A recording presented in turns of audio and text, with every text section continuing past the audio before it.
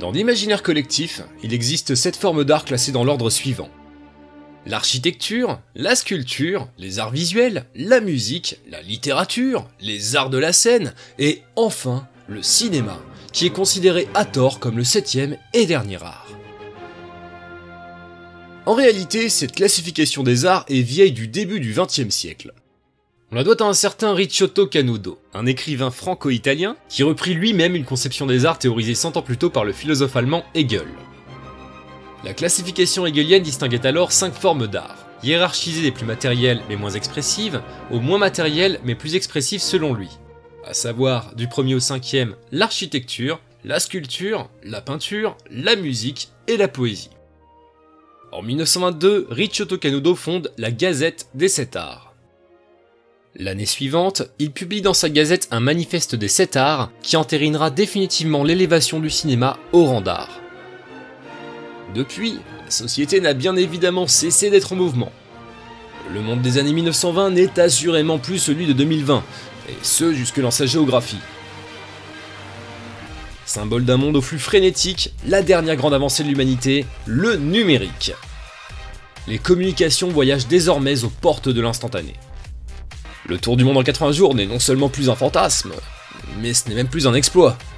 Avec une technologie qui ne se contente plus de petits pas pour l'homme, les artistes ont évidemment découvert de nouvelles formes d'expression, à mesure que se sont multipliés les espaces de diffusion et les supports de création. Pourtant, la classification des arts peine à évoluer à la vitesse de son temps. En conséquence, les nouvelles formes d'expression d'art éprouvent les pires difficultés à être considérées en tant que telles, au moins dans les consciences. En gros, pour beaucoup, il existe cet art, et puis basta. Tout ce qui ne relèverait pas de l'un d'entre eux ne peut être considéré comme une œuvre d'art à part entière. Sauf que dans les faits, ce n'est pas si binaire. Sinon cela voudrait dire que ce comique n'est pas une œuvre d'art, mais que ce film qui a valu un Oscar à son interprète, oui. Hey. Hmm. Arthur, can you get a, a look?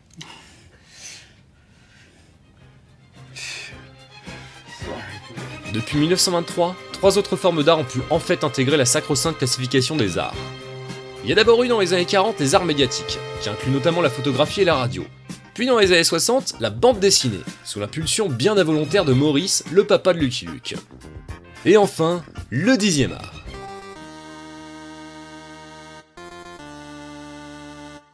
Les jeux vidéo sont en effet officiellement reconnus comme un art depuis 2006 par le ministère de la Culture français et depuis 2011 par la Cour suprême américaine.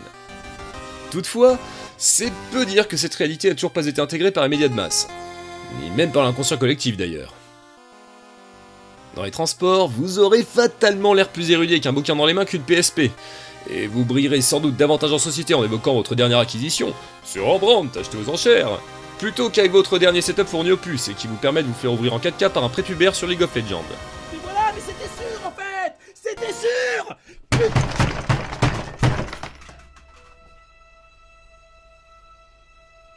Il faudrait pourtant peut-être se faire une raison. Le jeu vidéo est bel et bien un art véritable. C'est même un art redoutable, car capable d'ébranler son auditoire comme peu d'autres en sont capables. Et si ce que vous entendez là vous laisse dubitatif, eh bien permettez-moi de vous dire que vous vous fourvoyez. Et pour vous le prouver, je vais vous parler du jeu qui, il y a de ça 23 ans, s'est chargé d'élever définitivement au rang d'art le jeu vidéo.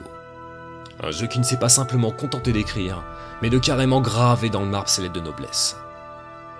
D'ailleurs, peut-on vraiment parler d'un simple jeu quand il s'agit d'évoquer l'œuvre vidéoludique de tous les superlatifs? Final Fantasy VII.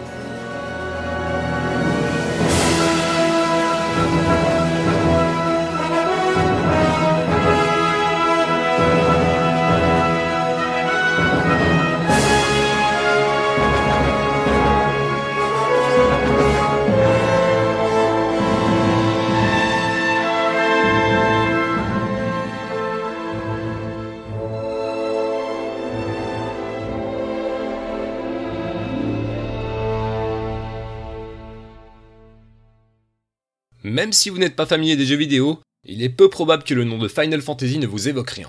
Le premier opus de la franchise sort en 1987 alors que son éditeur, Squaresoft, s'apprête à déposer le bilan. D'où son nom d'ailleurs, Dernière Fantasy, puisqu'il devait être l'ultime facétie de son créateur, Hironobu Sakaguchi. Le succès de ce premier jeu, qui devait en fait être le dernier, permettra finalement au studio de maintenir ses finances à flot, et même de relancer complètement son activité, et pas qu'un peu. 33 ans plus tard, c'est pas moins de 140 millions de Final Fantasy qui se sont vendus dans le monde.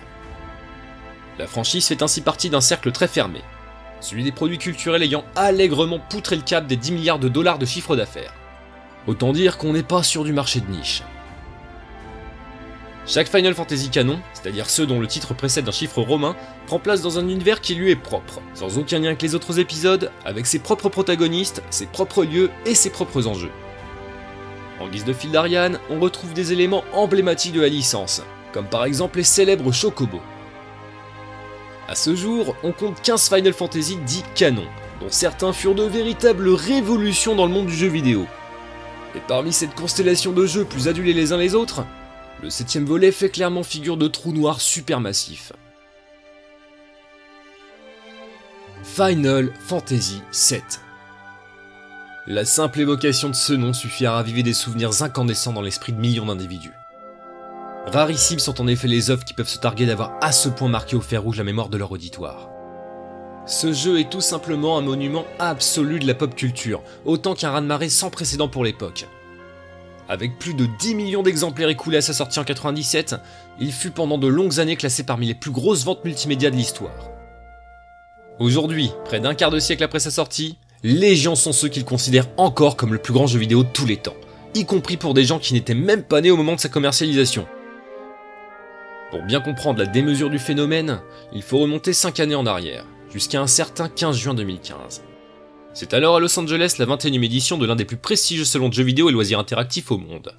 L'Electronic Entertainment Expo, plus communément appelé E3.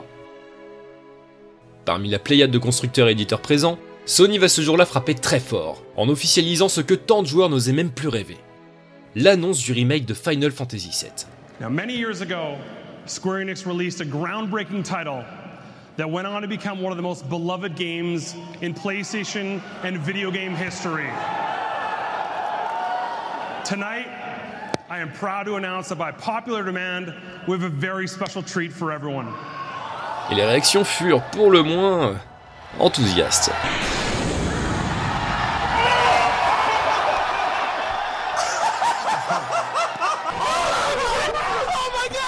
Please welcome Andrew. Mom, they did it. They did it, Mom. What? They did it. Good evening, everyone. Final Fantasy VII Remake. Il est très certainement difficile pour un être humain a priori normalement équilibré de concevoir que l'annonce du remake d'un simple jeu vidéo peut engendrer une telle hystérie collective.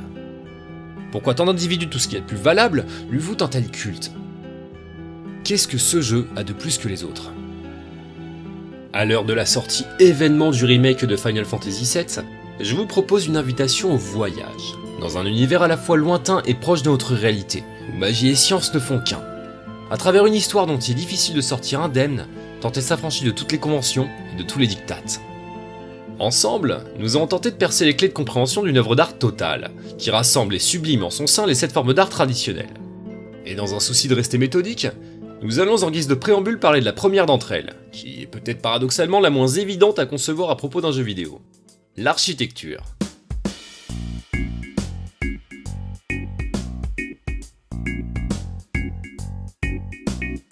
L'architecture est considérée comme le premier des arts majeurs. Il s'agit même de l'un des mots les plus vieux du grec ancien. Il se compose du préfixe archi, qui signifie commander, et du nom tectus, qui désigne les charpentiers. Ce que l'on pourrait traduire littéralement par chef des charpentiers. L'architecture n'est donc pas tout à fait l'art de construire un bâtiment, mais plutôt de le concevoir. De fait, parler du premier art à propos d'un jeu vidéo implique de se pencher sur sa conception. Et pour ce faire, notre voyage va nous amener à remonter le temps, jusqu'à l'an 1994, soit l'année de sortie d'un certain Final Fantasy VI. Le succès critique plus que conséquent de ce sixième épisode permet à son développeur, Squaresoft, de s'imposer comme un nom qui compte dans l'industrie vidéoludique. Certains puristes considèrent d'ailleurs toujours FF6 comme le meilleur de la série. Fort de cette réussite, Squaresoft se lance naturellement dans la production de Final Fantasy 7ème du nom. Et un peu comme Pink Floyd après la sortie de The Dark Side of the Moon, ce fut un peu comme qui dirait la gueule de bois pour les développeurs. comment faire mieux que Final Fantasy VI Le défi est de taille, d'autant plus qu'Hironobu Sakaguchi, le père de la saga, est de plus en plus en retrait dans la création, et, de son propre aveu, de moins en moins inspiré. Bon gré mal gré, Sakaguchi se lance dans l'écriture de Final Fantasy VII. Il imagine très vite un univers à la Blade Runner, sur fond d'enquête policière, où le joueur serait chargé de traquer des terroristes. L'idée ne plaît que moyennement au studio. Sakaguchi décide donc de s'adjoindre les services de deux jeunes créateurs pour mener à bien le projet. Yoshinori Kitase à la réalisation et Kazuchi Nojima au scénario. Le duo améliorera considérablement l'idée originale de Sakaguchi, lui apportera même une profondeur inattendue, au point que les équipes de Square vont rapidement prendre conscience qu'ils tiennent, avec ce nouveau scénario, une œuvre potentielle hors norme. Un événement inattendu va toutefois bouleverser son processus de développement. Le succès fracassant de la PlayStation, première console de Sony, qui fait une entrée non moins fracassante sur le marché vidéoludique.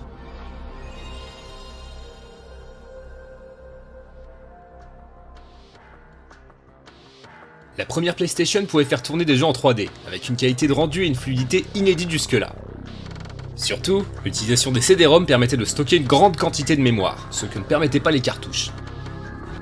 Petit détail piquant, Squaresoft a conçu jusqu'à présent tous ses titres sur Nintendo, et donc sur support cartouche. Et Sakaguchi se rend très vite compte que ses ambitions ne peuvent être satisfaites en développant son jeu sur ce support. Final Fantasy VII devait initialement être l'un des jeux phares du lancement de la future Nintendo 64, attendu pour la fin de l'année 96. C'est d'ailleurs dans cette optique que le septième épisode fut au départ conçu, sur cartouche et non sur CD. Sauf qu'entre-temps, en août 1995, les émissaires de Sony invitent les équipes de Squaresoft à Los Angeles. Officiellement, cette rencontre a pour but de familiariser les développeurs avec les nouvelles techniques d'infographie. Officieusement, Sony espère arracher l'exclusivité du prochain Final Fantasy à Nintendo. La différence entre les capacités de la PlayStation et la N64 se joue sur un point particulier. 4 kilobits de mémoire textuelle pour Nintendo contre 1 mégabit pour celle de Sony. La différence est abyssale, d'autant que les coûts de production des jeux cartouches sont 10 fois plus élevés, notamment en raison des importants frais de licence demandés par Nintendo et d'un cycle de développement plus long. Bluffé par les capacités de la PlayStation et des possibilités offertes par l'utilisation du CD-ROM, Sakaguchi voit l'opportunité de réussir à faire ce qu'il jugeait impossible. Surpasser Final Fantasy VI. Il décide donc d'abandonner avec pertes et fracas le développement de Final Fantasy VII sur cartouche, et donc, fatalement, de le rendre incompatible avec la Nintendo 64. Pour l'anecdote, les patrons de Nintendo, Foudrage, feront tout pour annuler ce septième opus. Il faudra même attendre 7 ans pour que les deux entreprises collaborent de nouveau ensemble sur cette licence, avec la sortie en 2004 sur GameCube de Final Fantasy Crystal Chronicles. Fin 95, Squaresoft relance donc le développement de Final Fantasy VII, cette fois sur PlayStation. Et Sakaguchi en est intimement persuadé, ses équipes sont en route pour marquer l'histoire du jeu vidéo. Parvient à convaincre les actionnaires de Squaresoft d'allouer un budget supplémentaire de 45 millions de dollars à la production, ce qui constitue un record absolu pour l'époque. A titre de comparaison, c'est deux fois et demi plus important que le budget de l'Empire contre-attaque. Avec cette force de frappe économique et la technologie du CD, il va concevoir un monde d'une ampleur jamais observée dans un jeu vidéo, y compris parmi les autres jeux du catalogue de la PlayStation. Après trois années de développement, Final Fantasy VII sort donc en 1997, d'abord au Japon, puis dans le reste du monde. Et si, avec le regard de 2020, les graphismes obsolètes peuvent faire vomir les rétines les plus sensibles et justifier à eux seuls l'existence du remake, lors de sa sortie, c'était tout simplement du jamais vu. Rarement un jeu a repoussé aussi loin les limites connues d'une console, au point qu'il fallait pas moins de 3 CD, à la manière d'un album de rock progressif, pour faire tenir l'édifice. Là encore, une première pour l'époque. Mille et une raisons font de ce septième Final Fantasy une œuvre à part, à commencer par le fait qu'il est le premier de la série à sortir en Europe. Pour un grand nombre de joueurs, FF7 fut donc le premier flirt avec un RPG japonais, ce qui n'explique toutefois que de manière parcellaire la cote d'amour dont il bénéficie.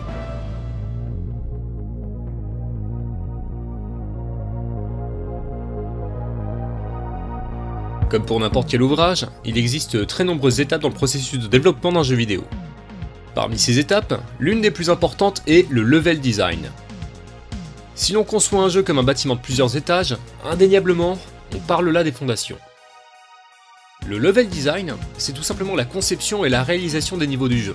Autrement dit, non seulement son architecture, mais aussi sa sculpture. Dans la plupart des jeux vidéo, les développeurs vont imaginer des univers visuels qu'ils retranscriront en dessin, puis en code, qui eux-mêmes se matérialiseront en pixels, et donc en images à l'écran. L'objectif est ici de pouvoir mettre au service de la mécanique de jeu, c'est-à-dire le gameplay, un environnement cohérent et varié dans lequel le joueur devra évoluer. Et c'est pour le dixième art quelque chose de fondamental de pouvoir s'appuyer sur un level design solide. Un niveau mal réalisé et truffé de bugs peut totalement gâcher l'expérience de jeu, amener sa jouabilité bien au-delà des limites humaines, et par conséquent, faire d'un projet intéressant au départ un énorme échec commercial et critique. Allez, putain, non, ne me fais pas le coup de pute Le mot de passe On va pas utiliser un mot de passe maintenant, franchement, ce sera abusé. Parce que... Dans Final Fantasy VII, l'expérience de jeu ne s'appuie pas sur un gameplay intense, ni sur la difficulté d'avancer dans un niveau comme dans la plupart des autres jeux de l'époque. Parce que, de base, les Final Fantasy ne sont pas des jeux comme les autres. La licence est imposée au fil des ans comme la figure de proue d'un genre resté longtemps confidentiel auprès du grand public, le role player game, abrégé le plus souvent RPG et que l'on pourrait traduire en français par jeu de rôle. Transposition vidéoludique des jeux de rôle plateau, ce type de jeu permet de contrôler et faire évoluer non pas un, mais plusieurs personnages avec leurs spécificités, atouts, défauts et capacités spéciales propres. En termes de gameplay, la plupart des RPG japonais ont la particularité de proposer des combats dits au tour par tour. Tant dire que si vous êtes du genre à bourriner la manette pour martyriser vos adversaires, vous allez pleurer du sang. Les combats demandent patience et réflexion. Ce qui a fonctionné contre un type d'ennemi pourra se montrer totalement inopérant contre un autre. Au fil de l'aventure, les personnages pourront évoluer et améliorer leurs compétences. Une particularité qui peut créer un lien cathartique fort entre les protagonistes et le joueur, puisque ce que les premiers vont gagner dans l'histoire, le second le gagne en possibilité d'action de jeu, et donc en plaisir manette en main. Dans cette optique de rendre le plus transparent possible le quatrième mur, la franchise va imposer, symboliquement à partir du quatrième opus, une signature qui fait depuis sa renommée. Des scénarios particulièrement complexes et denses, dans un Final Fantasy, l'enjeu du level design n'est donc pas uniquement de concevoir la ville comme un obstacle à franchir, mais carrément de lui insuffler une vie, pour pousser la sensation d'immersion à son périgée. L'idée, c'est que le joueur ne soit pas simplement spectateur, mais acteur du récit, et même qu'il vive l'histoire de la façon la plus cathartique possible. Et à ce petit jeu, Squaresoft a porté avec ce septième épisode le concept au next level. L'intrigue de Final Fantasy VII prend place sur une planète appelée Gaia, Bien que sa circonférence soit a priori plus petite que celle de la Terre, elle partage avec notre monde une géographie relativement similaire. Enfin, similaire, si on met de côté sa faune pour le moins exotique. Mais en dehors des serpents venimeux géants des marais, des requins bipèdes des égouts, et de ces horreurs des montagnes, pas de quoi fouetter un chocobo. Le joueur aura au cours de l'histoire la possibilité de visiter Gaïa dans ses moindres recoins, ce qui place Final Fantasy VII parmi les précurseurs des open world modernes. Il a donc fallu ici pas seulement concevoir des niveaux, mais une planète entière, avec des paysages variés et plusieurs villes qui possèdent chacune leurs particularismes architecturaux et culturels. Littéralement un boulot de titan. Sakaguchi et son équipe prennent totalement au pied de la lettre le fait de donner vie à leur monde. Le jeu va jusqu'à présenter Gaïa non pas comme une planète, mais un organisme bel et bien vivant, qui réagit physiquement à l'activité humaine et est même capable de ressentir des émotions comme la peur ou la souffrance. Ici, la princesse Peach, c'est tout simplement la planète. D'emblée, Final Fantasy VII passe un message, ce qui est généralement le propre d'une œuvre d'art. Le jeu à peine lancé, on comprend que cet univers a un background travaillé et des secrets qu'il faudra percer à jour. Et là, évidemment, difficile de ne pas s'attarder sur Midgar, cité dans laquelle démarre l'aventure. Cette mégalopole est presque un personnage à part entière du récit, Directement inspiré par le métropolis de Fritz Lang, la ville est un enfer urbain flottant divisé en 8 secteurs, eux-mêmes alimentés en énergie par autant de réacteurs Mako, un carburant très important dans l'intrigue et sur lequel nous aurons l'occasion de revenir. Midgard n'a pas simplement été conçu comme une ville, mais comme une véritable allégorie de la lutte des classes, dans son acception la plus dystopique. Sous la ville se trouvent les taudis, où se concentrent les classes pauvres, sans surprise majoritaire dans cette terre urbaine à taille inhumaine. Les habitants des taudis vivent dans l'insalubrité, la pollution et la criminalité. Pour couronner le tout, ils sont privés de la lumière du jour par la plaque sur laquelle reposent les fondations de Midgar. Très peu se résolvent cependant à quitter Midgar, par manque de moyens, ou tout simplement parce qu'ils nourrissent le doux rêve de gravir l'ascenseur social, et donc de rallier la surface. Au centre de la ville se dresse la tour Shinra, quartier général de la Shinra Electric Power Company, il ne s'agit pas tout à fait d'une entreprise philanthropique. Cette méga corporation à mi-chemin entre Areva, Dassault et Bouygues possède le monopole de l'extraction de l'énergie Mako. La hauteur démesurée du gratte-ciel indique d'ailleurs sans ambiguïté que la Shinra contrôle et domine la capitale de Gaïa. En dehors de Midgar, les disparités économiques et technologiques sont criantes. On l'observe avec Junon, un village de pêcheurs laissé à la marge du progrès et qui subit la pollution de la base militaire qui la surplombe. On le remarque aussi avec Corel, une ancienne cité minière désindustrialisée devenue une sorte d'Alep, également dominée par un vestige capitaliste, le Gold Saucer, un parc d'attractions d'une opulence crasse à faire passer Disneyland pour une modeste fête foraine de village. Sans oublier Wutai, miroir du Japon, ici pays du soleil couchant, critique à peine voilée d'une société japonaise moderne où les traditions sont devenues un folklore touristique et maintenues artificiellement en vie à des seins pécuniaires.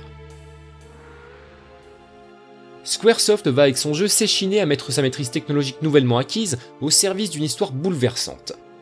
Bouleversante pour ce qu'elle implique dans sa diégèse, mais aussi et surtout pour ce qu'elle soulève d'un point de vue extra-diégétique. Sous bien des aspects, Final Fantasy VII est un titre avant-gardiste, et c'est sans aucun doute ce qui fait sa sève et sa grandeur.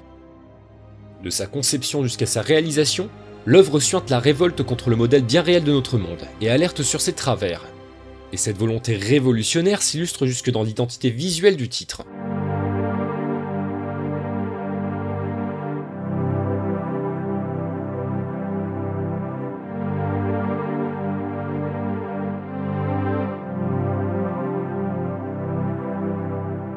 Lorsque Final Fantasy VII sort, nous sommes en 1997, à la lisière d'un nouveau millénaire et, le croit-on, d'une ère de paix quasi éternelle. La chute du mur de Berlin, de l'Union soviétique et par là même la fin de la guerre froide avait créé l'illusion candide que tout irait désormais pour le mieux dans le meilleur des mondes possible. Deux ans auparavant, 184 des 193 pays membres des Nations Unies avaient ratifié le protocole de Kyoto, visant à réduire les émissions de gaz à effet de serre. Les problèmes écologiques se conjugueraient bientôt à l'imparfait du subjonctif.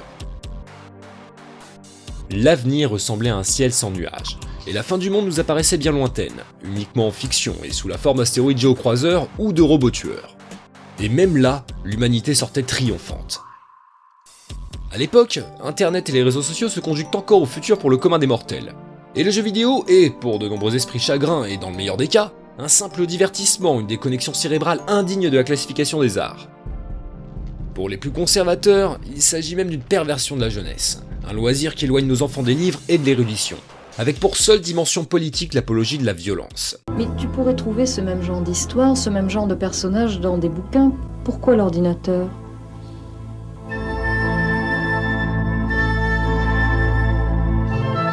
Se risquer dans le monde des jeux vidéo, ça n'est pas forcément une partie de rigolade. Pour Alexandre, c'est même souvent une question de vie ou de mort. La violence pimente en effet une bonne dose de jeux vidéo. On cogne, on flingue, on atomise. Une seule règle, ne pas faire de détails. Personne ne peut me battre et personne ne me battra. Et je vais m'entraîner encore plus qu'avant. Il n'y aura pas de chaos au deuxième round. Je vais le torturer, ce balourd. Je vais le crucifier à mort. Je vais le tuer. C'est dans ce contexte, quelque part dans l'interstice séparant l'explosion de Tchernobyl des attentats du World Trade Center, que Squaresoft sort Final Fantasy VII.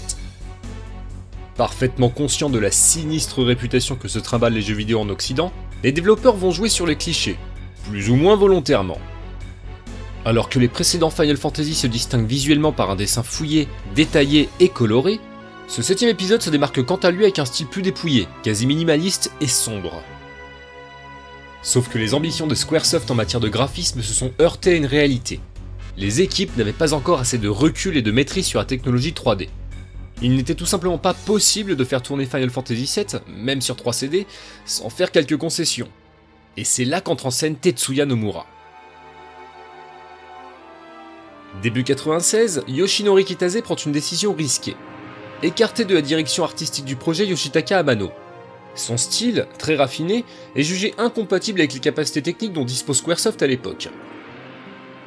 Amano, qui était jusque-là le cara designer attitré de la série, voit un jeune créateur de 25 ans lui griller la politesse. Ce jeune, c'est Tetsuya Nomura, qui a notamment participé à la direction graphique de Final Fantasy VI. Un choix qui s'avérera gagnant au-delà de toute espérance. Nomura va en effet être bien plus qu'un simple crayon pour le projet, et carrément s'imposer comme son principal moteur créatif. Nombreux sont d'ailleurs ceux qu'il considère comme le véritable père de Final Fantasy VII. Il faut dire qu'en plus de donner au jeu son identité visuelle, Nomura va énormément s'impliquer dans son scénario, puisqu'il est tout simplement le concepteur des personnages. Nomura est au départ choisi pour une compétence assez incongrue. Il est un adepte du style manga et maîtrise parfaitement le Super Deformed, plus en adéquation avec les contraintes technologiques face auxquelles Kitase doit faire front. La particularité du Super Deformed réside dans le fait que les personnages sont dessinés de manière disproportionnée, par exemple avec une tête deux fois plus grande que le corps. Et ce type de graphisme, on le retrouve majoritairement dans euh, des œuvres enfantines. En partie grâce ou à cause de cela, Final Fantasy VII se retrouvera commercialisé en étant seulement déconseillé au moins de 10 ans, alors que son scénario, on peut raisonnablement le qualifier d'ultra violent. A titre de comparaison, le remake est rated M, c'est-à-dire interdit aux moins de 16 ans. De fait, de très jeunes enfants ont joué à Final Fantasy VII à l'époque, en partie par manque de connaissances des parents qui pensaient leur offrir un jeu bah, pour enfants. Sauf que Final Fantasy VII n'est pas une œuvre pour enfants. Le style super difforme ne fut que la réponse à une contrainte technique dont les développeurs se sont servis intelligemment. L'aspect enfantin des personnages, effectivement étrangement proportionné, jure avec les propos souvent très crus qu'ils peuvent tenir, et naturellement, avec l'ambiance froide et sombre du décor, lui bel et bien à échelle. Il en ressort une ironie doucereuse, qui donne à l'œuvre une dimension politique glaçante et quasi prophétique. On pourrait même y voir une sorte de projection de l'avenir cauchemardé des générations futures par les développeurs. Comme leur nom l'indique avec subtilité, les Final Fantasy prennent traditionnellement place dans un univers Heroic Fantasy imprégné d'une esthétique steampunk. Avec ce septième volet, la franchise opère un virage brutal et met en arrière-plan les éléments emblématiques un peu puérils de la saga, comme par exemple les MOG. À une époque où les consciences politiques ne sont pas forcément aussi éveillées que de nos jours, Squaresoft se décide à faire un choix artistique fort, un choix politique très fort même. Laisser tomber les princesses en détresse, les royaumes enchantés et les décors surréalistes habituels de la saga pour inscrire ce nouvel opus dans la droite lignée visuelle d'un mouvement idéologiquement très connoté, le cyberpunk.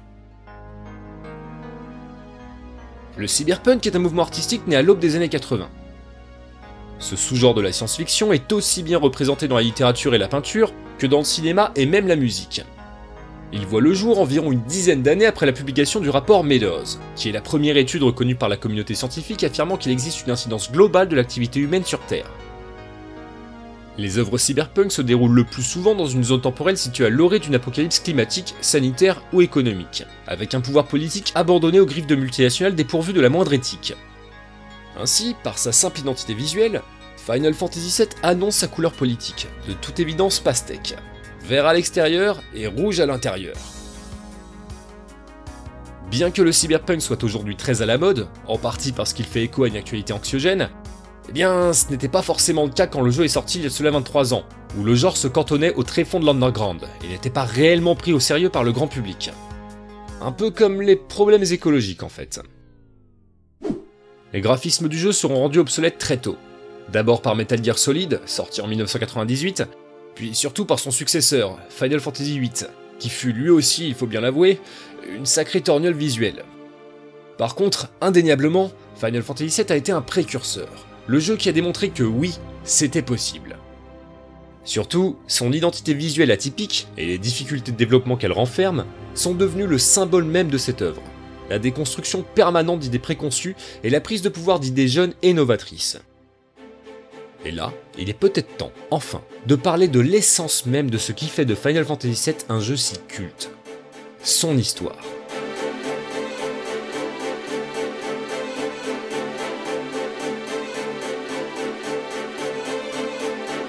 On l'a dit précédemment, Final Fantasy VII est ce que l'on appelle un RPG. Grandement inspiré par les livres dont vous êtes le héros, les RPG se caractérisent, entre autres particularités, par des récits à tiroirs truffés de dialogues, où les choix du joueur peuvent avoir des conséquences plus ou moins heureuses sur le scénario. Par extension, les jeux de rôle proposent de coutume une narration beaucoup plus soutenue et dense que ce que l'on peut retrouver chez leurs congénères d'autres chapelles, comme par exemple les jeux de plateforme. Venir à bout d'un RPG demande en règle générale une énorme dose de patience, et plusieurs dizaines d'heures de jeu, soit une durée similaire à la lecture d'un livre de plusieurs centaines de pages. Mais bon, ne rêvez pas, vous aurez quand même l'air un peu plus fin à passer ce temps à lire qu'à jouer. Final Fantasy VII ne prend pourtant pas ses joueurs pour des idiots. le jeu déborde de références littéraires, mythologiques, bibliques et plus globalement philosophiques. Au-delà des évidences que sont les invocations Odin, Léviathan ou encore Shiva, on peut s'attarder une fois encore sur la cité de Midgard. Dans la mythologie nordique, Midgard avec un D est l'endroit terrestre où vivent les humains et bâti sur Yggdrasil, l'arbre du monde. Les humains sont enclavés dans Midgard par la constriction d'un serpent géant dont le corps entoure la ville. Midgard finira détruite lors du Ragnarok, qui est à la mythologie nordique ce que l'Apocalypse est à la judéo-chrétienté. Et la notion de fin du monde est présente au cœur même du récit de Final Fantasy VII. Le logo de la jaquette, que l'on doit à Mano, est en lui-même assez explicite. Sous la houlette d'un Sakaguchi déterminé à regarder le cinéma droit dans les yeux, Nojima et Nomura vont plancher sur un récit bien plus complexe que ce que la saga a exploré jusque-là. Sans contestation possible, le scénario est LE point fort de Final Fantasy VII, celui qui a donné sa postérité au titre. Les intrigues sont nombreuses, autant que les coups de théâtre, et reliées à des faits étalés sur plus de 2000 ans de lore. Mais au-delà même de la profondeur de l'intrigue, ce qui a durablement marqué les esprits, c'est l'aspect visionnaire de son propos. L'époque dans laquelle se déroule le jeu, tout comme les sujets et thématiques traités, trouvent un écho d'une justesse terrifiante avec notre monde actuel, même 20 ans après sa sortie. L'écologie est bien sûr le plus connu et évident, mais Final Fantasy VII traite également d'autres questions de société très contemporaines, comme l'émancipation des femmes, les violences conjugales, les dangers d'une économie sauvage, la protection animale, l'exode rural, le transhumanisme, le contrôle des médias par les industriels, le deuil parental, les pathologies psychiatriques et même l'ambivalence sexuelle. Et puisqu'on tourne autour du pot depuis un moment, parlons donc de l'histoire de ce septième volet. Vous suivez ici les aventures des membres d'Avalanche, une organisation terroriste écolo en guerre contre la toute-puissante Shinra Electric Power Company, qu'ils accusent de détruire la planète. On pourrait s'attarder sur Avalanche, mais nous allons plutôt nous épancher sur la Shinra, une multinationale qui fait figure d'antagoniste dans l'univers de ce septième Final Fantasy. Déjà, arrêtons-nous sur le nom. Shinra vient à la base des deux premiers caractères de Shinra Banchu, un idiome japonais de 4 caractères que l'on peut traduire par Tout est couvert par Dieu. Il est l'homophone de Bansu Shinra, un idiome bouddhiste qui signifie Tout est recouvert par la forêt et 10 000 choses. Rien que par son nom, la Shinra est désignée comme une entreprise qui cherche à gouverner la nature. Plus qu'un simple antagoniste, la Shinra est sans doute l'élément le plus central de l'aventure de Final Fantasy VII. Et le seul que l'on va traiter ici afin de pouvoir détailler un peu le scénario sans spoiler sauvagement l'histoire. Au cours des décennies qui précèdent le présent du récit du jeu, la Shinra connaît une croissance économique hors norme grâce à une découverte majeure. L'existence sous la surface de Gaïa d'un hydrocarbure aux propriétés phénoménales, l'énergie Mako. Les chercheurs de la compagnie découvrent alors chaque jour davantage de possibilités offertes par l'énergie Mako, aux capacités a priori sans limite. L'entreprise parvient notamment à créer artificiellement des matérias, forme rare de Mako cristallisée qui, inoculée à des humains, leur permettent de développer des capacités transhumaines.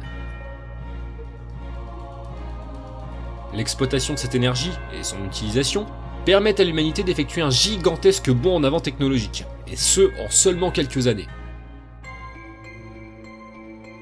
Dans le sillon de cette révolution, la puissance financière de la Shinra devient telle que son rayonnement et son influence sur le monde surpassent celui des États.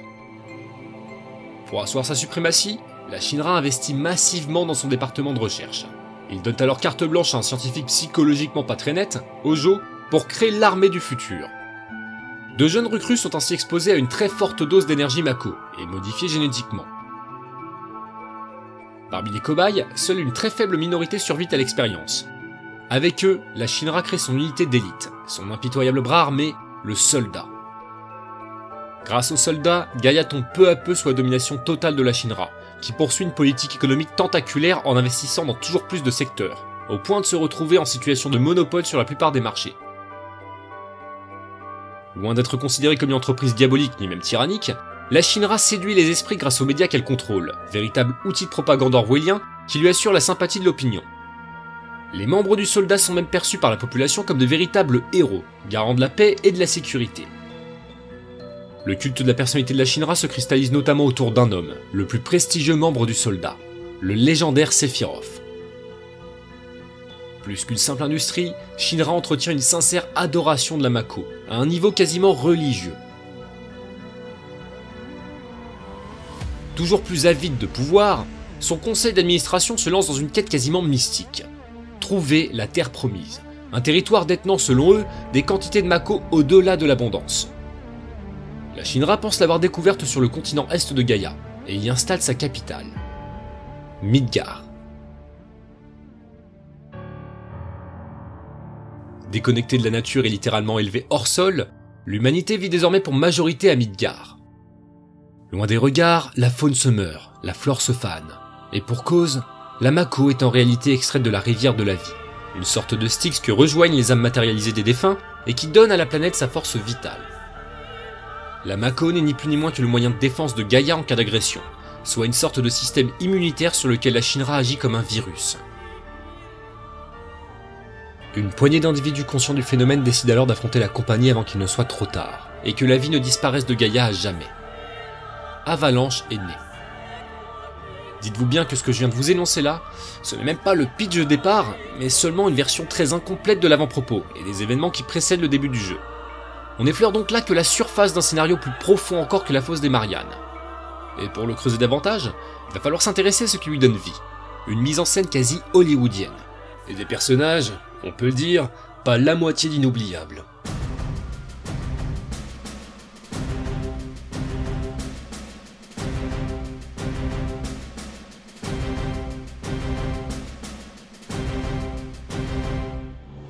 Pour réaliser Final Fantasy VII, Hironobu Sakaguchi va faire appel à des professionnels du cinéma. Le but Permettre au scénario d'être soutenu par une mise en scène épique. Afin de pallier au manque de nervosité du gameplay, Squaresoft a décidé d'innover en conceptualisant des cinématiques d'une qualité inédite dans l'histoire du jeu vidéo, ce qui a déjà été évoqué dans la partie consacrée à l'architecture. Ce fut d'ailleurs un argument de vente du jeu, mis très explicitement en avant au dos de sa jaquette. Et effectivement, l'aventure sitôt démarrée, on en prend immédiatement plein la tronche, avec, bien sûr, ce plan séquence mythique passé à la postérité en guise de hors-d'œuvre. Le jeu débute alors que l'on suit parallèlement deux trajectoires. D'abord celle d'une jeune femme inconnue qui contemple une fuite de Mako avant d'observer au loin la tour Shinra. Puis, toujours sur la même caméra, celle des membres d'Avalanche, en route pour commettre leur premier attentat, l'explosion du réacteur Mako numéro 1 de Midgar. En termes de mise en scène, c'est clairement du grand art. Et en 1997, quand on voit cela, inutile de préciser qu'on parle ouzbek si on ne s'est pas mouillé la nuque avant.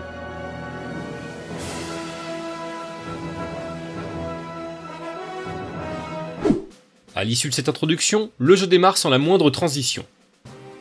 Cet exploit a été rendu possible par la flexibilité dont ont fait preuve les développeurs. Pour adapter leur technique graphique habituelle à la nouvelle technologie dont ils disposaient avec la 3D, les équipes de Square ont préféré optimiser ce qu'ils maîtrisaient, plutôt que de se lancer à l'aventure avec un outil qui leur était parfaitement inconnu deux ans avant la sortie du jeu. Il faut dire que, durant les premières années de la PlayStation, un très grand nombre d'éditeurs se sont cassés les dents avec le moteur 3D. Le passage de la 2D à la 3D coûtera d'ailleurs la vie à certaines licences. Pour éviter de tomber dans le même écueil, Squaresoft a donc fait le pari de séquencer son jeu en plusieurs phases. D'un côté, les phases d'exploration, durant lesquelles les personnages en 3D pourront visiter différents lieux qui sont en fait des décors en 2D précalculés, sur le modèle du premier Resident Evil sorti un an plus tôt en 96. De l'autre, les combats, entièrement modélisés en 3D, avec pour la première fois dans l'histoire de la licence une caméra dynamique, clairement là pour en mettre encore plus dans la vue. Pour parachever le tout, les scènes cinématiques font le lien entre les phases d'exploration et les combats, et s'appuient sur le moteur 2D précalculé pour limiter à la portion congrue les temps de chargement entre différentes séquences.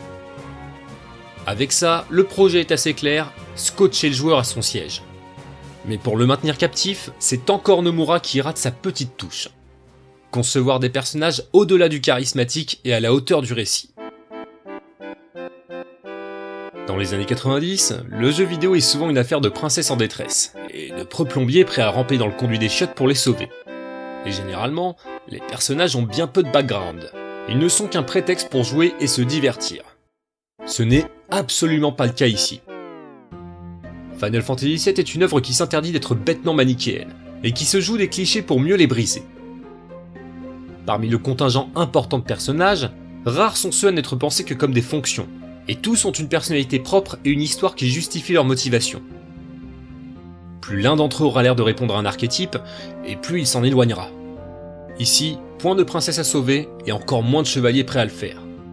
Le récit n'a de fantaisie que le nom et d'héroïque que l'étiquette. Les développeurs tourneront d'ailleurs ouvertement en ridicule les scénarios des autres jeux de l'époque dans une scène en particulier, qui met en abîme une pièce de théâtre avec une princesse maudite prisonnière d'un dragon. Le personnage principal va se retrouver, contre son gré, acteur de la pièce, qu'il juge écrite par un enfant de 4 ans, et possibilité sera offerte au joueur de totalement la ruiner, en embrassant le dragon plutôt que la princesse par exemple. Et d'ailleurs, parlons-en du personnage principal. Parmi les membres d'Avalanche qui commettent l'attentat, un dénote particulièrement de ses compères. Cloud Strife, alias le gars avec la grosse épée, un mercenaire autrefois membre du soldat, qui est, rappelons-le, l'unité d'élite de la Shinra. Il s'agit sans surprise du personnage principal. Et je dis bien personnage principal et non héros, car Cloud Strife n'a absolument rien d'un héros.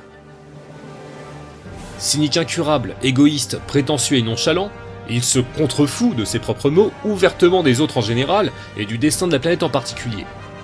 L'unique chose qui le préoccupe, c'est d'être payé. C'est à travers les yeux de Cloud que le joueur découvre l'univers du jeu, et une partie de ses enjeux, ce qui, tout de suite, complexifie la narration. Car on s'en rend très vite compte, en plus d'être assez antipathique et égocentrique, Cloud a en effet un léger problème avec la vérité, en plus d'entendre des voix et de souffrir de crises de démence. Disons que comme héros, on a déjà vu plus sain d'esprit. Au fur et à mesure de l'aventure, le joueur sera amené à en apprendre davantage sur son passé, et ainsi démêler le vrai du faux de son histoire, ce qui constitue l'un des plus gros enjeux narratifs du récit. L'autre personnage que l'on découvre en même temps que Cloud, c'est Barrett Wallace, dont le nom est un clin d'œil appuyé à William Wallace. Et là, en matière de déconstruction de clichés, les développeurs se sont fait plaisir. Déjà en matière de cara design, on va pas se mentir, on part sur le pire cauchemar de Nadine Morano. Vous l'aurez sans doute relevé, en plus d'avoir un physique à faire sursauter un Terminator, Barrett voilà c'est noir de peau. Notons d'ailleurs que le jeu ne relève à aucun endroit l'origine ethnique de Barrett. Sa couleur de peau n'est donc jamais mise en avant et n'influe pas sur sa personnalité, mais je me permets tout de même d'intervenir là-dessus, parce qu'encore en 2020, rares sont les jeux originaux qui ont pour héros des personnages de couleur. En 1997, Barrett Wallace n'est cependant pas le premier personnage noir présent dans un jeu vidéo. On pourrait citer par exemple Adam de Street of Rage, un beat'em all sorti en 91, ou encore Jax de Mortal Kombat 2, un jeu de combat sorti en 93, ou Shaquille O'Neal dans Shaq Fu, qui est aussi un jeu de combat sorti en 94, mais Shaquille O'Neal était un basketteur. Ou Michael Jordan, Chaos in the Windy City, qui est aussi sorti en 94 et qui met aussi en scène un basketteur. Ou Michael Jackson dans Moonwalker, un jeu sorti en 90 qui est aussi un beat'em all, mais... Euh, bah c'est Michael Jackson quoi. Enfin bref, vous avez je pense saisi l'idée, Barrett est probablement le premier personnage original noir à occuper un rôle important dans un jeu vidéo avec une histoire aussi travaillée. Un fait d'autant plus notable que FF7 est une œuvre japonaise, une société qui ne brille pas forcément par son progressisme. Barrett occupe un rôle central dans le lore du jeu, puisqu'il s'agit du chef et fondateur d'Avalanche. En dépit de son apparence dangereuse et de son caractère colérique, Barrett s'avérera être un véritable humaniste amoureux de la nature, et toujours soucieux du bien-être de son prochain. J'évoquais plus tôt dans la vidéo le fait qu'on peut voir Final Fantasy VII comme la projection des peurs des développeurs quant à l'avenir des générations futures. Eh bien, celui qui cristallise cette peur collapsologique, c'est clairement Barrett. Contrairement à Cloud, il se fiche de l'argent et du confort matériel, et ne vit que pour une chose, sauver le monde pour préserver l'avenir de sa fille adoptive de 4 ans, Marlène. Comme c'était déjà le cas dans le sixième épisode où l'héroïne de l'histoire était Terra, Final Fantasy VII ne laisse pas des miettes à ses protagonistes féminins. Le premier personnage féminin que l'on rencontre, c'est Tifa Lockhart, elle est présentée au départ comme une bimbo romantique, qui vit avec le doux rêve d'une promesse de jeunesse, celle que Cloud la protège comme un preux chevalier si elle venait avoir besoin d'être secourue. Inutile de préciser que Tifa est elle aussi à des années-lumière de l'archétype de la Kaggle que l'on imagine au premier abord. Elle est en réalité une redoutable combattante, qui n'a besoin que de ses points pour se défendre. La demoiselle est même l'une des leaders d'Avalanche. Le septième ciel, bar dont elle est la propriétaire, étant le repère de l'organisation. Tifa prendra même les commandes du groupe au milieu de l'aventure, sans que quiconque n'y trouve à redire. Tifa comme Aeris ont plus que largement permis à la franchise de s'attirer les faveurs d'un public féminin, public encore très présent aujourd'hui parmi la communauté des fans de Final Fantasy. Une communauté qui, sans forcément atteindre le sacro-saint palier de la parité, parvient au moins à glaner son statut mixte. Ce qui, malheureusement, reste très marginal dans le monde des jeux vidéo. Et d'ailleurs, parlons-en d'Aeris, l'autre personnage féminin fort du jeu. Si la trame suit de manière assez libre le mythe du voyage du héros, le personnage qui se rapproche le plus de ce schéma narratif n'est pas forcément Cloud, mais Aeris Ginsborough. Pour être plus clair, si Cloud est le personnage principal du jeu, Aeris est celui de l'histoire. C'est d'ailleurs le premier visage que le joueur voit à l'écran lors de la cinématique d'introduction, ce qui d'emblée indique que ce personnage est important. Habitante des taudis du secteur 5 de Midgar, est tout d'abord nommée par sa fonction, la jeune fille aux fleurs. Aeris est effectivement une vendeuse de fleurs à la sauvette, pas franchement mieux considérée que la Rome qui vient vendre ses roses en terrasse à Paris. Relevons que son nom est un hommage à un peintre britannique du XVIIIe siècle, Thomas Ginsborough, célèbre notamment pour ses tableaux de paysages inspirés par la Hollande, pays lui-même connu pour ses tulipes, soit précisément les fleurs que vend Aeris. Et oui, un détail, encore un. On se rend très vite compte qu'Aeris n'est évidemment pas une jeune demoiselle ordinaire. Elle est la dernière représentante d'un peuple ancien capable de commander à la magie et de communiquer avec la planète, les Cetras. Aeris est même considérée par la Shinra comme l'élu censé mener l'humanité vers la Terre promise. Tant et si bien que le jeu la présente comme la clé de son intrigue, et donc en quelque sorte, son héroïne. Si elle semble dans un premier temps endosser le rôle de de l'étape, ce n'est pas pour embrasser Cloud sur la joue. C'est d'ailleurs après une réflexion machiste de sa part, puisqu'il refuse d'être aidé par une fille, qu'Aeris va le suivre pour lui démontrer toute l'étendue de sa connerie. Notons d'ailleurs que le jeu punira Cloud peu après, puisqu'il se retrouvera dans l'obligation de se travestir et subira à l'occasion le quotidien d'une femme harcelée par des messieurs en rute. Aeris est lié à jamais à la scène qui a fait la légende de Final Fantasy VII, le cliffhanger inattendu qui conclut la fin du premier CD, et qui est un peu au jeu vidéo ce que la fin de Star Wars 5 est au cinéma. Et tant qu'on parle de l'héroïne, eh bien, parlons aussi du méchant. Rares sont les jeux vidéo qui ne disposent pas d'un adversaire principal cruel et démoniaque, ou au moins assez ridicule pour que le joueur veuille se défouler dessus. Il s'agit traditionnellement du boss final du jeu. Le vaincre est l'objectif ultime à atteindre pour sauver la princesse, le monde, la ville ou la galaxie. Mario a son Bowser, Sonic a son Dr Robotnik, et Final Fantasy son Kefka. Nomura a conçu pour ce septième opus un méchant rentré dans la légende du dixième art. Sephiroth. Good to see you. Cloud. Pensé initialement comme le jumeau maléfique d'Aeris, il est annoncé très tôt comme l'antagoniste du récit. Son nom vient de l'hébreu et désigne dans la Kabbale les dix puissances créatrices de l'univers à travers lesquelles Dieu peut se manifester. Et tout, dans la symbolique du design de Sephiroth, le présente comme un ange déchu et une figure antichristique, tant dans son acception théiste que nietzschéenne. Le Christ étant ici, rappelons-le, Aeris. Le personnage est d'ailleurs dans le lore de Final Fantasy VII surnommé le One Winged Angel, soit l'ange à une seule aile. Inspiré par le mythe de Satan, Sephiroth est, de tous les protagonistes et de l'aveu même de son créateur Tetsuya Nomura, celui qui a demandé le plus de travail. Si Nomura a très vite réussi à concevoir le design définitif du grand méchant, son écriture fut bien plus compliquée. Un grand nombre de scénarios ont été imaginés pour Sephiroth. Il fut par exemple imaginé qu'il soit une simple projection mentale de l'esprit de Cloud, ce qui demeure encore aujourd'hui d'ailleurs une théorie très populaire auprès des fans. En dépit de la couleur de ses vêtements et celle de ses cheveux, Sephiroth est un personnage plutôt gris et aux intentions assez mystérieuses durant une bonne partie de l'intrigue. Il n'est pas forcément présenté comme cruel ou détestable, ni même comme un méchant d'ailleurs. Au contraire, il est plutôt calme, mesuré et doté d'un sang-froid extrême. Au début du jeu, on sait juste de lui qu'il fut un héros de guerre, tombé en disgrâce à la suite d'un incident inconnu du grand public dans la diégèse du récit. Cet incident sera expliqué aux joueurs de manière fragmentée par Cloud, qui souffre, rappelons-le, d'amnésie partielle ou de mythomanie selon votre niveau de lecture. Aussi, le rôle qu'occupe Sephiroth dans l'histoire reste très flou. On comprend qu'il est lui aussi en guerre contre la Shinra, mais que contrairement à Avalanche, il ne lutte pas pour sauver le monde, au contraire. Persuadé de descendre lui aussi des Cetras, il estime que les humains sont une espèce nocive, qui doit être anéantie. Seule aile n'est donc pas forcément considéré, là encore selon les interprétations, comme l'incarnation du mal absolu, mais plutôt comme une figure nihiliste. Il pose ainsi une question fondamentale.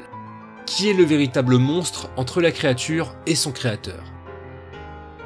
En partie pour ces raisons, Sephiroth est considéré comme l'un des méchants les plus populaires de l'histoire du jeu vidéo, et sans aucun doute au dixième art ce que Dark Vador est au septième.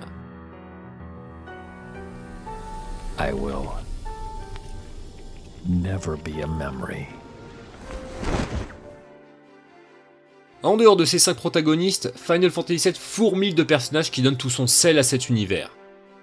Tous, ou presque, ont une histoire à raconter et mériteraient une vidéo consacrée. Mais je ne voudrais pas vous gâcher le plaisir de la découverte.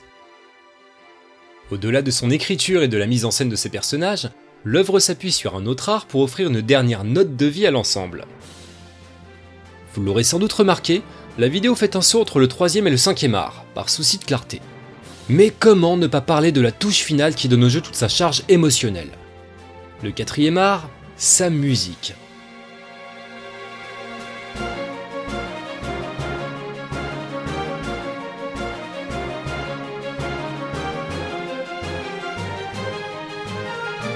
Final Fantasy est une saga qui a, comme pour n'importe quelle œuvre de sa popularité, un certain nombre de détracteurs.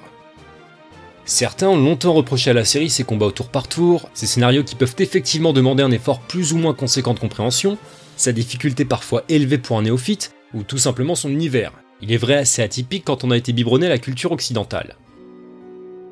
Mais s'il y a bien un point qui fait consensus avec ces jeux, c'est bien la qualité de leur musique, dont beaucoup d'entre elles ont intégré le panthéon du dixième art et même du quatrième. C'est bien simple, la musique occupe une telle place dans la franchise que si Nomura et Sakaguchi sont indissociables du nom Final Fantasy, celui de son légendaire compositeur l'est au moins tout autant, si ce n'est davantage. On peut même affirmer sans trop se mouiller que si Sephiroth est au jeu vidéo ce que Dark Vador est au cinéma, Nobuo Uematsu est indiscutablement à Final Fantasy ce que John Williams est à Star Wars. Du premier épisode de la licence jusqu'au dixième, soit pendant 15 ans, Uematsu sera le compositeur attitré des bandes originales des Final Fantasy. Un travail aussi incontournable que vital, puisque ces jeux étaient, jusqu'à ce dixième volet, entièrement muets. La musique se devait donc de rythmer des histoires handicapées par l'absence de voix, et donc leur donner un côté plus organique pour prendre aux tripes. Même s'il est depuis Final Fantasy X beaucoup plus en retrait avec l'industrie vidéoludique, Nobuo Uematsu reste considéré quasi unanimement comme le plus grand compositeur de l'histoire des jeux vidéo. Compositeur néoclassique né en 1959, Nobuo Uematsu est un enfant du rock, et notamment du rock progressif. On retrouve dans un nombre pléthorique de ses morceaux des références évidentes à cette période de la musique. On peut citer par exemple Dancing Mad de Final Fantasy VI, qui est une sorte de Tarkus 1.5 du supergroupe mythique Emerson Lake et Palmer,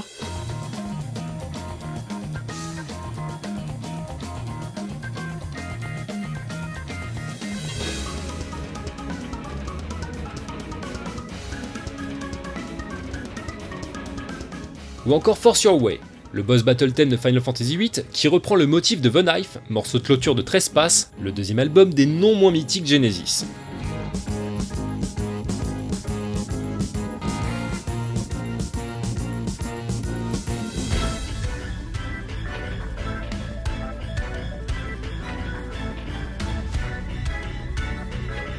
Ce goût prononcé de l'artiste pour cette musique est d'ailleurs assez édifiant avec Holo, le morceau officiel du remake, qui ne ferait pas tâche dans la discographie de David Gilmour.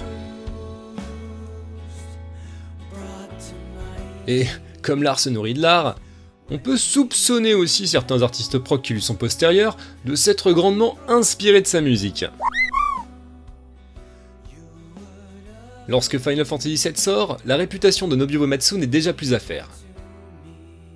Avec Final Fantasy VI, le musicien avait déjà accompli un tour de force mémorable, en composant un opéra de 16 minutes sur une console 16 bits. Un boulot de fou furieux.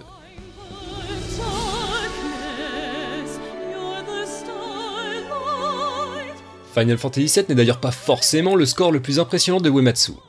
Certains fans lui préfèrent la bande originale plus dense du 9 épisode, les compositions plus modernes du 10 ou la dinguerie expérimentale du 5 Quant aux mélomanes avertis, le souvenir de Liberi Fatali, l'ouverture magistrale de Final Fantasy VIII, est toujours bien rouge sur les joues. Mais en 1997, en matière de musique de jeux vidéo, une fois encore, c'était quasiment du jamais entendu. Un peu plus homogène et mélancolique que de coutume dans la série, La bande originale est portée à son apogée émotionnel par trois pièces qui ont fait sa gloire. Le thème principal du jeu, celui d'Aeris, et évidemment One Wind Angel, le thème musical de Sephiroth. Et euh, si le diable avait une musique, ce serait clairement celle-là. Cette dernière composition est probablement l'une des plus célèbres de Final Fantasy VII, et sert de toile sonore à l'affrontement final. L'arrangement originel peut s'assimiler à une véritable symphonie, et bénéficie plus encore que tous les autres titres de l'avancée technique permise par le CD. Il comporte des parties chantées, des chœurs d'hommes et de femmes accompagnés de parties orchestrales. Là encore, on est dans l'inédit. One Winged Angel est lui aussi jonché de références artistiques. Les paroles s'inspirent directement des Carmina Burana, chants en latin du XIIIe siècle qui ont inspiré l'opéra de Karl Orff. La musique, quant à elle, est un savant mélange entre les compositions de Bernard Herrmann pour les films La mort aux trousses et Psychose d'Hitchcock et l'introduction de Purple Haze de Jimi Hendrix.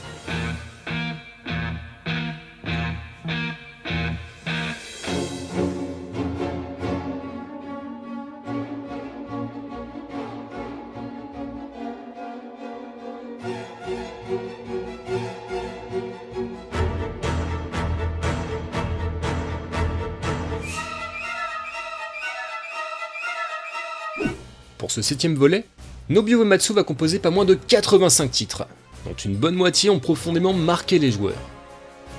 La musique de Final Fantasy VII appuie parfaitement le propos du jeu, et sert aussi à insuffler aux différents lieux une ambiance unique. Un exemple assez évident est la musique du Gold Saucer. Le morceau utilisé en background est une sorte de boucle de carrousel infernale, au tempo survitaminé et extrêmement aliénant qui crée un sentiment oscillant entre l'excitation et le malaise, ce qui sied bien à ce temple de la consommation béni-iliesque. Au contraire, la musique du Canyon Cosmo, lieu de sagesse ancestrale où les habitants vivent en harmonie avec la nature, est beaucoup plus tribale et inspirée de la musique traditionnelle japonaise.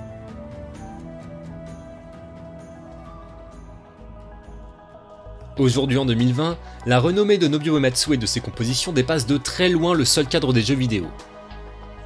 Si vous tapez d'ailleurs sur Google Final Fantasy Music, vous obtiendrez 3 fois plus de résultats qu'en tapant Eminem Music, et quasiment 20 fois plus que Daft Punk Music. C'est dire à quel point Nobuo Uematsu est un grand nom de la musique tout court. On ne compte plus sur YouTube, Deezer et Spotify les reprises, les hommages, et même les albums ouvertement inspirés de la série. Il existe même un collectif appelé Voices of Livestream qui a revisité à la sauce trip-hop la BO de Final Fantasy VII. Du pur délire. Et les musiques de la série ne sont pas uniquement jouées sur internet. Il existe une tournée officielle appelée Distant Worlds où les musiques des Final Fantasy sont jouées sur scène par les orchestres les plus réputés. Cette tournée rassemble chaque année plusieurs dizaines de milliers de personnes, dans les salles et opéras les plus prestigieux et aux quatre coins du globe.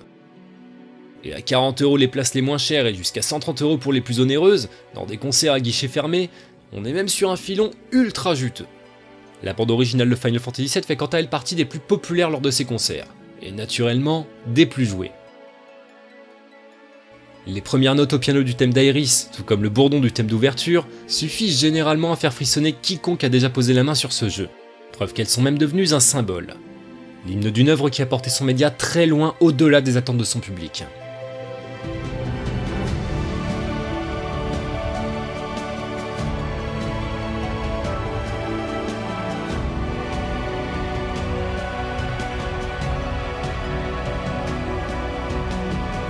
Avec Final Fantasy VII, Hironobu Sakaguchi n'ambitionnait pas simplement de tenir la dragée haute à l'industrie du cinéma, mais aussi et surtout de tendre un gigantesque majeur au monde de l'art, d'ordinaire si méprisant avec les jeux vidéo. Et c'est un doux euphémisme de dire que la mission a été une réussite absolue. Par l'état d'esprit de ses créateurs, la richesse de son scénario, la profondeur de son univers et la beauté de sa musique, Final Fantasy VII est sans aucune contestation possible entré dans l'histoire. Les difficultés liées à sa conception et les nombreuses contraintes qu'ont dû affronter les développeurs en font même une prouesse artistique en soi.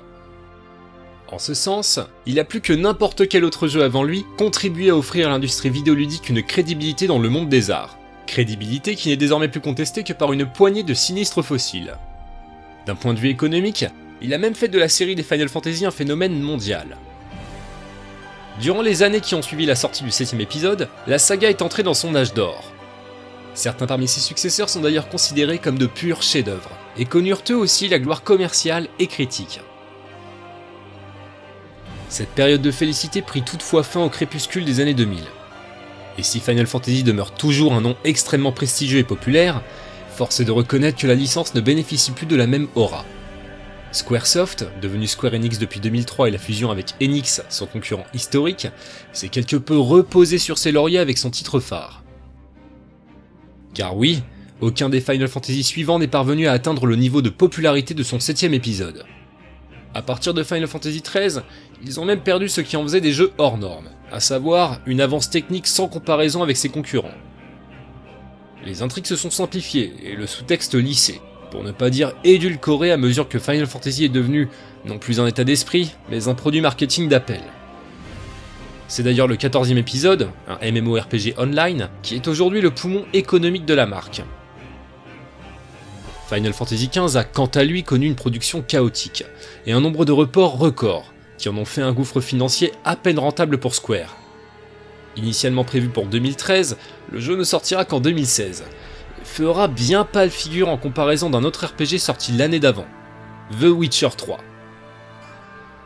Affront suprême, c'est le dernier DLC de The Witcher qui raflera le titre de jeu de l'année face à Final Fantasy XV.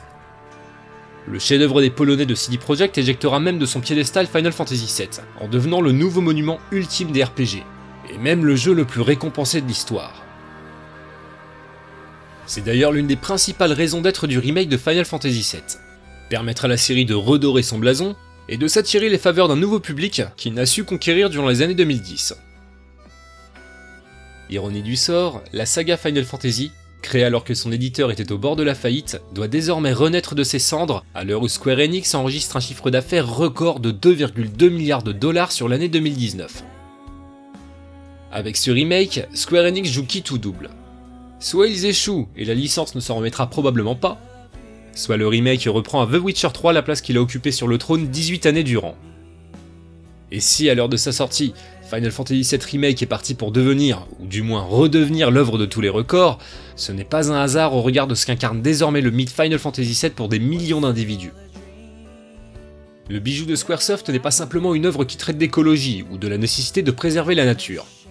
En réalité, Final Fantasy VII est une œuvre qui traite d'existentialisme, et qui nous pousse sans cesse à nous interroger sur nous-mêmes en tant qu'entité consciente. Qu'est-ce qui nous définit en tant qu'être? Nos convictions? Notre mémoire Notre passé ou notre avenir. Qu'est-ce qui sépare le bien du mal? Où s'arrête le premier? Où débute le second? Autant de problématiques que Final Fantasy VII soulève pour renverser son auditoire, et qui en font non pas une simple expérience de jeu, mais une expérience de vie hors du commun.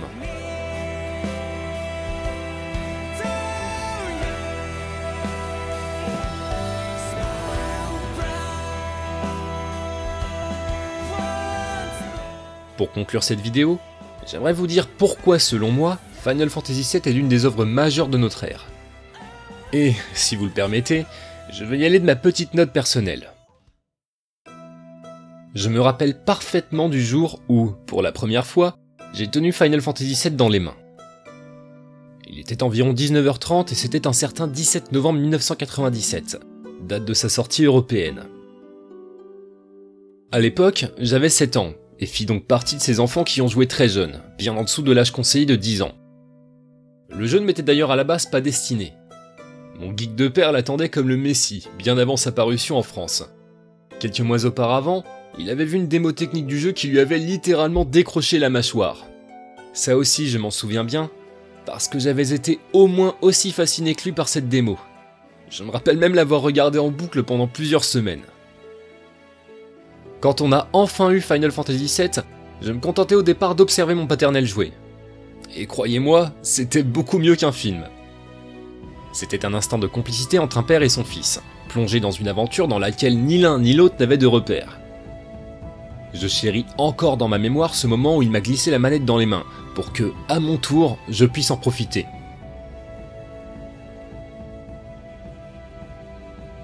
Fallait un bon niveau de lecture pour avancer dans l'histoire, notamment à cause d'une traduction française complètement claquée au sol, et mon père voyait là l'opportunité ludique pour moi d'apprendre de nouveaux mots. Et il avait raison le bougre. D'ailleurs, pour ne rien vous cacher, je jouais à Final Fantasy VII avec un dictionnaire. Au-delà de tout cela, pour quelqu'un qui n'avait jamais touché un RPG avant, euh, Final Fantasy VII c'était quand même une sacrée purge en matière de difficulté. Et sans fausse modestie, j'étais doué bordel. Les mécaniques de gameplay me plaisaient sincèrement. J'aimais cette sensation de progrès, avec ces nouvelles attaques qui étaient autant de nouveaux mots à apprendre. Là où mon père galérait se retrouvait en game over, j'avançais sans embûche dans le scénario. Au point qu'au bout d'un moment, eh bien c'est lui qui me regardait jouer.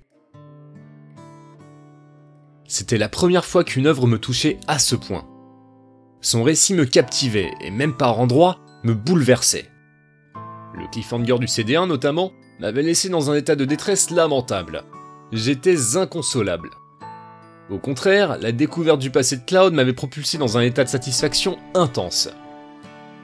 Quand enfin, au bout de nombreuses heures de jeu, je l'ai terminé, nous étions en plein hiver 1998.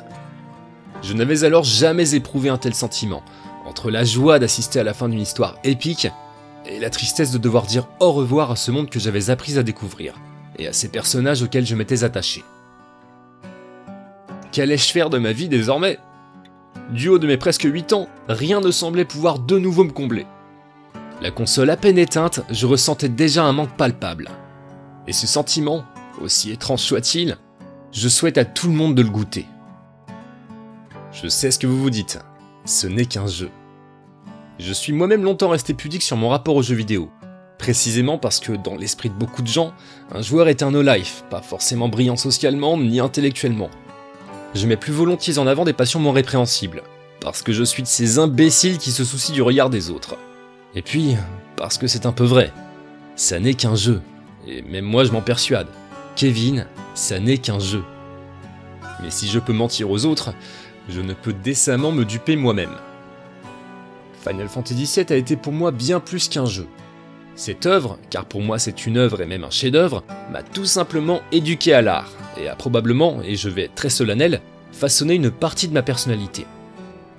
Il a même peut-être été mon premier éveil politique, car quand on a 7 ans et qu'on pose la main sur une œuvre de cette envergure, croyez-moi, ça vous marque un môme. L'état de manque causé par la fin du jeu avait fait que je voulais explorer tout ce qui était relié à cet univers. C'était la première fois que j'allais au-delà de la simple diégèse d'un récit, que je m'intéressais à ses créateurs, que je voulais percer jusqu'au plus anecdotique secret de sa conception. Avec Final Fantasy VII, j'ai appris à ne jamais rester campé sur mes préjugés, à faire preuve de résilience face à une difficulté a priori impossible à surmonter, et à ne pas imposer de limites à mon imagination. Grâce à lui, j'ai appris l'amour des jolis mots et des belles musiques. C'est Nobuo Uematsu qui m'a mené à Pink Floyd, Genesis et Wagner. C'est Tetsuya Nomura qui m'a mené à Orwell, Barjavel, Huxley et Lovecraft. C'est Hironobu Sakaguchi qui m'a mené à Soleil Vert, Citizen Kane et Blade Runner. Et croyez-moi, mon cas est très loin d'être isolé. Nous sommes des millions à avoir été profondément ébranlés par ce jeu, et à s'être découvert avec lui une verve créatrice ou une passion pour l'art. C'est pourquoi Final Fantasy VII doit être considéré pour ce qu'il est, une des plus grandes œuvres de son époque. Et qui sait Peut-être qu'avec son remake, une nouvelle génération d'enfants partageront avec leurs parents cette épopée, et découvriront à travers elle une part d'eux-mêmes qui ne demande qu'à s'éveiller.